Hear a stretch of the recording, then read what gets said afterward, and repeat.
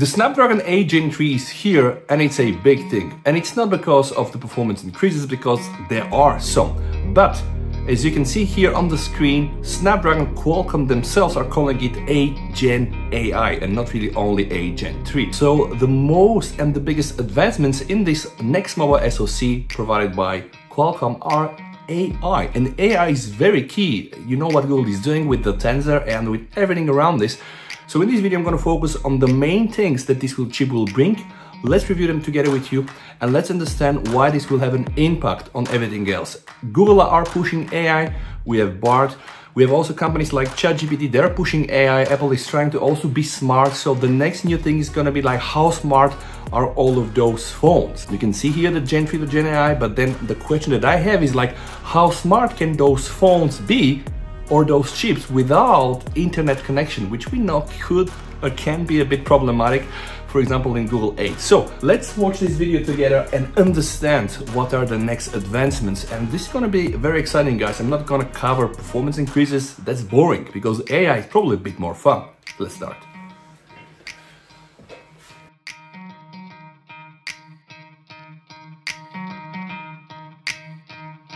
Here we have it, guys. It's not Gen 3, it's also Gen AI. I'm your on-device AI assistant. So they're already making a reference that this SoC is able to generate text, right? Um, I think this is not something that it's unseen, but it's gonna get even more interesting. Keep watching. Generate an image of something you just put a text. This SoC AI capabilities will also allow it to speak to us and also turn text into images, which reminds us on what, like DALL-E?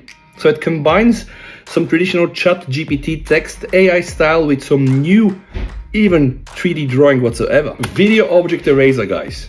Now Google premiered some years ago the photo object eraser and actually even Samsung are doing this right now very quickly. But video object eraser, okay, this is really promising. Night vision, remember Google said that the Pixel 8 lineup will get night vision, but this is a feature that we still don't have on our Pixels, and a feature that will require you to process your video through the Google data centers, meaning Google Photos, to get it done. So what I'm saying is, it's not on device. You require a device with an active connection. And I had the Pixel 8 Pro, I tested it myself. Some features like the best take was not available the first day. Then also when I tried to do some of the nice AI editing, it required for me to have a permanent internet connection which means that it's not really so much on device. And the Gen 3 or the Gen AI promises us to do these things offline, meaning no internet connection, like purely because all the AI and ML stuff built in the chip. Next gen lighting effects, I mean, we have ray tracing. Why not have also something in regards to lighting? This is going to be wow. I mean, with the powerful GPU there, most probably going to be one of the best gaming platforms based on 8 Gen 3. And not to mention the performance, guys. We already know there's going to be some increases in terms of CPU and GPU power. So the 8 Gen 3 or 8 Gen AI is not only going to be smarter, but also more powerful than the predecessor. I can only tell you that my hands are itching already. I want to have a device with the 8 Gen 3 or AI, and this is probably going to be the Xiaomi 14 Gen 3 Gen AI. Thank you so much for watching, guys. I really think that this is going to change the industry or continue to change Google started and try to bring this more like from off device to on device, which is going to be great.